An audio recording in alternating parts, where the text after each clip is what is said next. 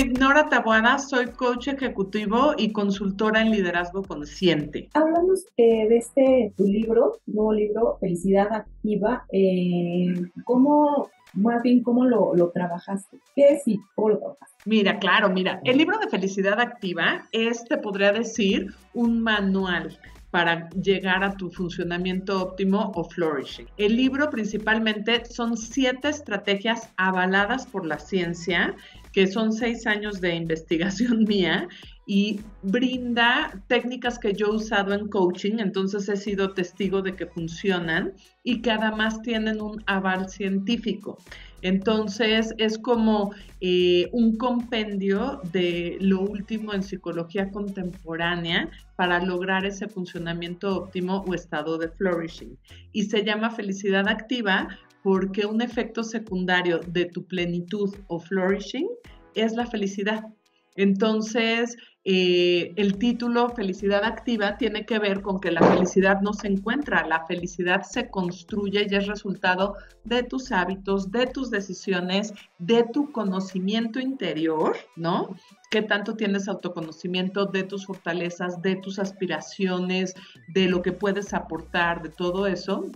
Entonces, por eso es felicidad activa, porque es un proceso dinámico, activo y al que hay que comprometerse. ¿Cómo poder alcanzar la felicidad? La primera estrategia del libro es entender qué es felicidad a nivel científico y hay una fórmula científica de felicidad. El nombre científico de felicidad es bienestar subjetivo. ¿Por qué? Porque no hay una receta igual para todos, ¿no? Lo que ha hecho la psicología es investigar qué hace la gente más feliz del mundo y eso este, nos lo describe. Entonces, esta fórmula científica de felicidad nos dice que es satisfacción de vida, es el primer elemento y eso como mujer te tienes que plantear qué rol juega tu trabajo, qué rol juega tu maternidad y lo que hablábamos de todos estos papeles y en qué, qué quieres hacer con ellos, ¿no? ¿Cuáles son tus metas que te harían sentir plena? Y es una respuesta personal y subjetiva. Cada mujer tiene que plantearse qué la llevaría a este nivel de satisfacción de vida, ¿no?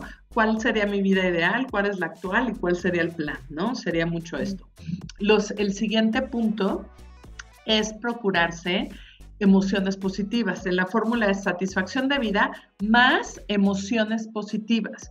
Y son emociones positivas porque los estudios nos han este, demostrado que en positivo el cerebro funciona 31% mejor que cuando está en negativo o neutro. Las emociones positivas nos expanden, iluminan otros centros de aprendizaje y de hecho empiezan a construir nuevos canales neuronales, ¿no? Que te vuelven más creativo y todo eso.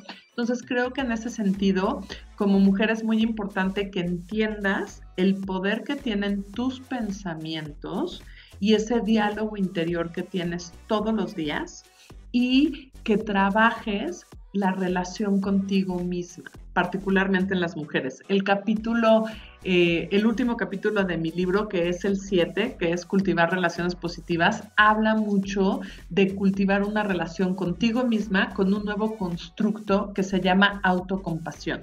Porque a veces para las mujeres este diálogo interno, somos nuestro peor juez y nuestro peor crítico y sientes que nunca es suficiente, etcétera, ¿no? Entonces, el establecer esta relación contigo misma, el poder decir, oye, yo tengo estas metas, ¿qué monólogo interno debería de, tener dentro para ayudarme a alcanzarlo y todo eso?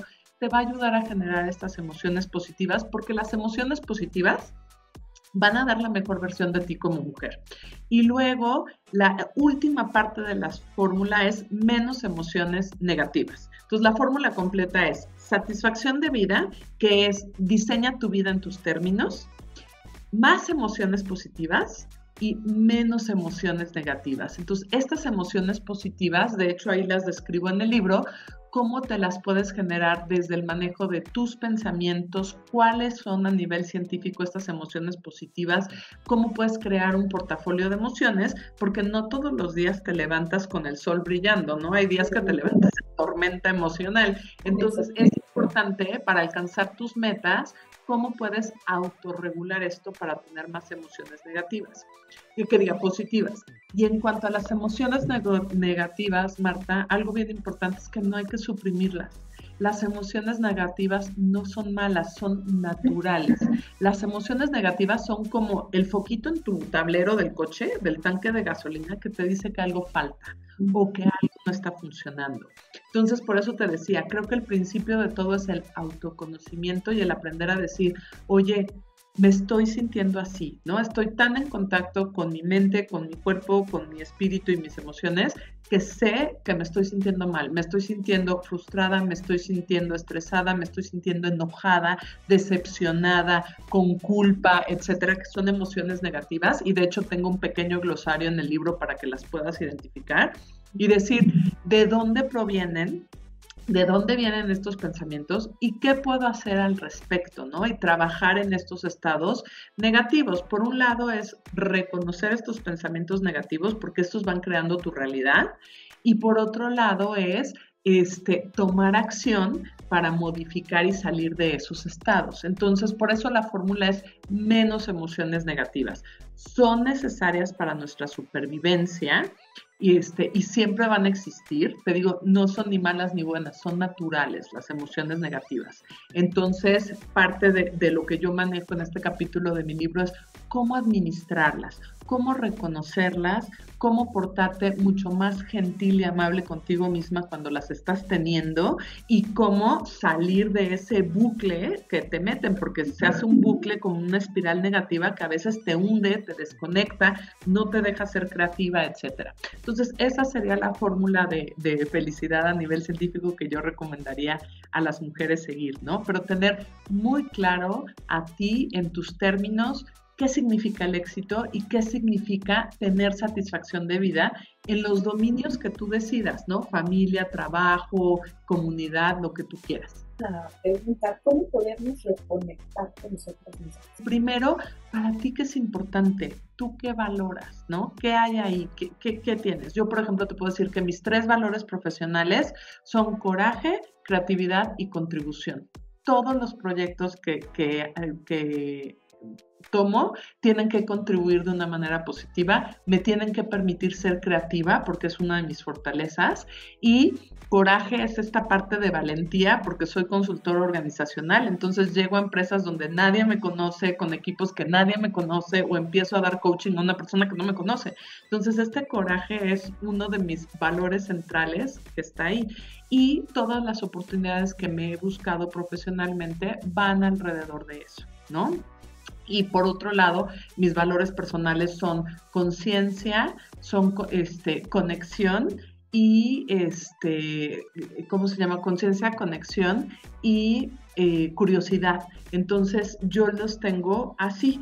Entonces, en mi vida personal, cuando yo conecto con las personas, soy altamente curiosa para saber, ¿no? Cuáles son sus valores, cómo conectar todo eso. La parte de conexión humana, por lo que me dedico y por mi vocación, es fundamental.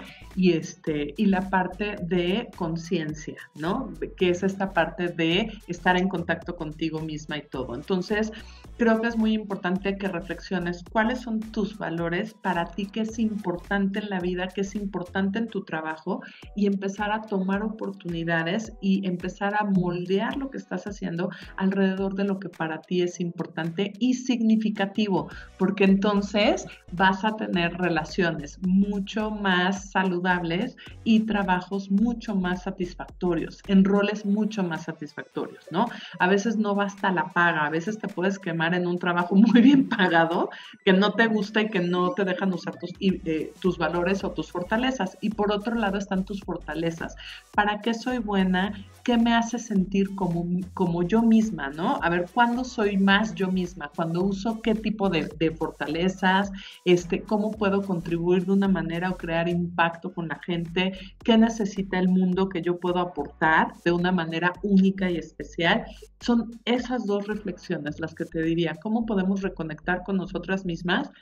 Reflexionemos sobre nuestros valores y reflexionemos sobre nuestras fortalezas, porque no, eso nos hace dejar una huella muy particular. Así como no se pueden replicar las huellas digitales, así no se pueden replicar tus valores, tus fortalezas y un tercer elemento sería tu propósito de vida, ¿no? Lo que eliges tú, la manera en que tú eliges servir a una causa mucho más grande que tú y al servicio de que quieres poner tu vocación profesional o tu vida personal, porque eso le da un sentido a la vida y eso lleva directamente a la plenitud y al flourishing. Y la gente que logra hacer eso, este, logra un bienestar psicológico duradero, ¿no? Comprobado científicamente. Nora, ¿dónde podemos conseguir tu libro? Mi libro está en amazon.com.mx, ahí lo pueden encontrar en Kindle y la versión impresa. Y el libro está hecho este, con, la verdad, mucho diseño editorial para que puedas encontrar las técnicas así resaltadas en gris, tiene muchos esquemas y muchos diagramas. Y, este, y parte de lo que hice, porque yo llevo... Eh, mucho tiempo trabajando e investigando el tema a nivel científico, lo que hice fue ponerlo de una manera simple, sencilla y práctica para que la gente lo use y mejore esta satisfacción de vida, tenga más emociones positivas y este y menos negativas, ¿no? Listo. Eh, ¿Tienes algún otro libro? ¿Tengo algún otro libro? No, este es mi único, es mi primer libro. ¿Cómo es mi bebé, Marta. ¿Cómo te sientes? Bien, muy bien. Mucha, pero tengo un blog que llevo escribiendo desde hace muchísimos años en estos temas progresivos que están transformando la experiencia humana en la vida y el trabajo.